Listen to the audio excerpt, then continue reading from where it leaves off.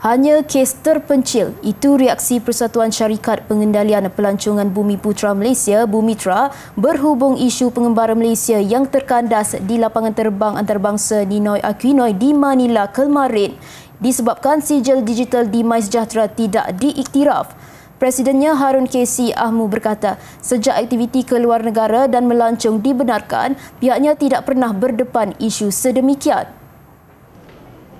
Bercakap kepada Bulletin TV 9, beliau berkata bukti vaksinasi digital dilaksanakan di Malaysia mendapat pelbagai pengiktirafan dunia dengan ramai rakyat Malaysia dibenarkan memasuki negara maju seperti Amerika Syarikat dan United Kingdom. Pengiktirafan negara-negara lain pada Malaysia adalah begitu baik sekali.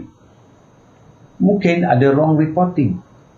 Ya, oleh itu tindakan segera kerajaan kita uh, ber hubung rapat dengan tajam Filipino sekaligus uh, uh, root of the problem dapat di address dan dalam uh, dengan cara ini insya-Allah uh, rakyat Malaysia uh, akan dapat melancong ke luar negara tanpa was-was Pihaknya juga yakin kerajaan akan dapat menyelesaikan isu berkenaan secepat mungkin. Jadi nasihat kami kepada Uh, pelancong-pelancong Malaysia ataupun yang nak pergi untuk business visit ini uh, tak perlu besar kerana kita negara kita mempunyai rekod yang begitu baik sekali. Kemarin dilaporkan kira-kira 13 pelancong Malaysia terkandas di lapangan terbang antarabangsa Nino Aquino selepas pihak immigration menolak sijil vaksinasi My Sejahtera sebagai bukti vaksinasi. Difahamkan pasport mereka turut dirampas.